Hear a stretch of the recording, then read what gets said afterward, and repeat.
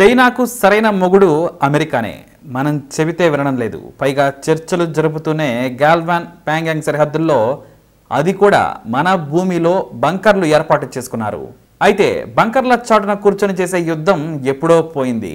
పాకిస్తాన్తో చేయాలి అంటే బంకర్లు తవ్వుకుంటారు. కానీ భారత్ లాంటి శక్తివంతమైన దేశంతో కూడా సంప్రదాయ యుద్ధంలోకి లాగాలని తెగ ప్రయత్నిస్తోంది. ఎందుకంటే ఫుల్ టైం వార్ చేస్తే మనం ఎంత నష్టపోతామో చైనా కూడా అంతే నష్టపోతుంది.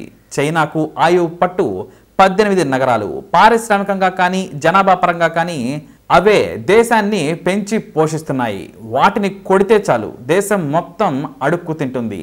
అలా కాకుండా తన దగ్గర ఉన్న ఆయుధాలతో యుద్ధం చేయాలని మనల్ని అందులోకి లాగి దీర్ఘకాలిక పోరాటంగా మార్చి మనల్ని ఆర్థికంగా దెబ్బతీయాలని చైనా కుట్ర పనుతోంది అమెరికాలోని పెంటగాన్ చీఫ్ మార్క్ ఎస్పర్ గత ఫిబ్రవరిలోనే చైనా గురించి హెచ్చరికలు జారీ చేశారు. రాబోయే కాలంలో తైవాన్ జపాన్ ఇండియాకు ఇబ్బందులు ఉంటాయని వార్నింగ్ ఇచ్చారు కూడా. ముఖ్యంగా భారత్ ఎదగటం ఆ దేశానికి ఇష్టం లేదు. ఎందుకంటే ఆర్థికంగా భారత్ ఎదిగే కొద్దీ ఆసియాలో చైనాకు భారత్కు మధ్య గ్యాప్ తగ్గిపోతుంది. దీంతో ప్రపంచంలో చైనాకు గుర్తింపు తగ్గుతుంది.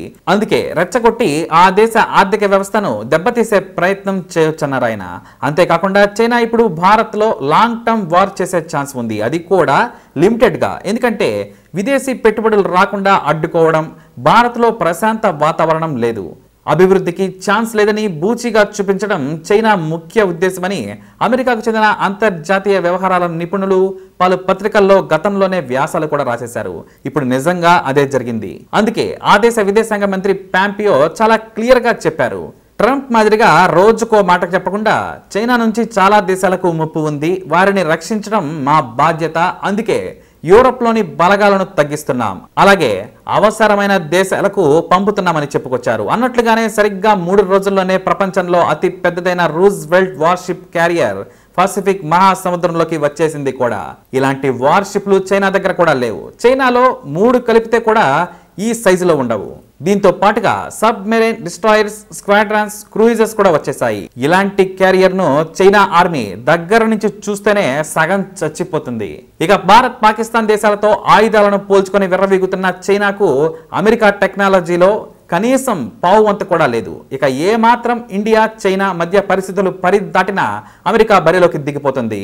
అమెరికా డ్రోన్లు కంటికి కనిపించకుండా పెంటగాన్ ఆఫీసులో కూర్చున్నా సరే పది నిమిషాల్లో చైనా నిర్మించుకున్న స్థావరాలను కూల్చేస్తాయి. ఇక కొత్త టెక్నాలజీతో తయారైనవి లెక్కే లేదు. చైనా రెచ్చిపోతే జీవితంలో మరిచిపోలేని గుణపడం తప్పదు. ఎందుకంటే అమెరికా తన టెక్నాలజీని పరీక్షించడానికి యుద్ధం దొరకలేదు. ఇప్పుడు చైనా వస్తే మాత్రం తన కొత్త ఆయుధాలను ఒక్కసారి అలా అలా ప్రయోగించి చూస్తుంది. ఇక అమెరికా సైనికులను ఎదుర్కొనే దమ్ము చైనాకు ఏ మాత్రం లేదు. కలలో కూడా ఉండదు కూడా. ఒక్కొక్క సైనికుడి బాడీపై ఎనిమిది రకాల ఆయుధాలుంటాయి. అవి కాకుండా నైట్ విజనర్ నెయిల్ కటర్స్ ఎమర్జెన్సీలో బ్లడ్ పోకుండా ఆపగలిగే ఇంజెక్షన్లు. ఇలా ప్రతి ఒక్కరి దగ్గర చంపే వస్తువు నుంచి ప్రాణాలని బతికించే ఇంజెక్షన్ వరకు ఉంటాయి.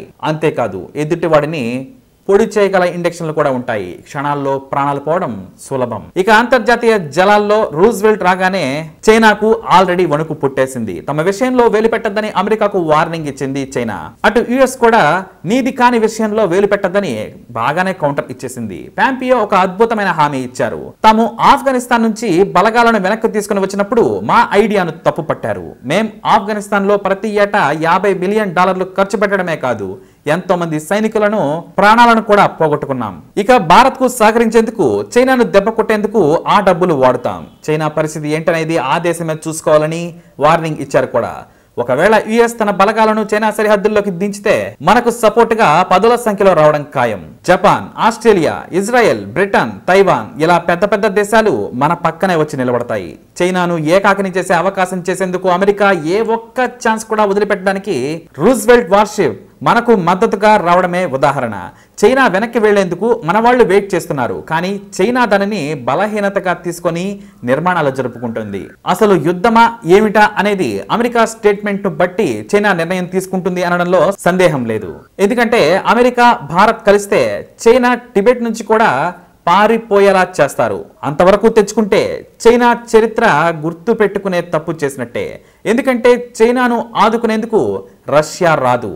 మనతో మంచి సంబంధాలతో ఉంది. పైగా యుద్ధం చేసి నిలబడే శక్తి ఇప్పుడు రష్యాకు లేదు. యుద్ధం జరిగేది ఇప్పుడు భారత్ చైనా మధ్య కాదు. అమెరికా చైనా మధ్య. అది కూడా ఇండియన్ బోర్డర్లో. మొత్తంగా చైనా మట్టి కొట్టుకుపోవడం ఖాయం. ప్రస్తుతానికి ఇది చైనా పరిస్థితి. మరి వంకర బుద్ధి చూపిస్తే అందరూ చూస్తూ ఊరుకోరు కదా. అందుకే మోడీ ఈ రకమైన ప్లాన్ చేసి పక్కా స్కెచ్ గీసి ఎస్కేప్ కాకుండా అంతు చూడడానికి ప్రయత్నించాడు. మరి భారత్ అమెరికా చైనాపై యుద్ధం.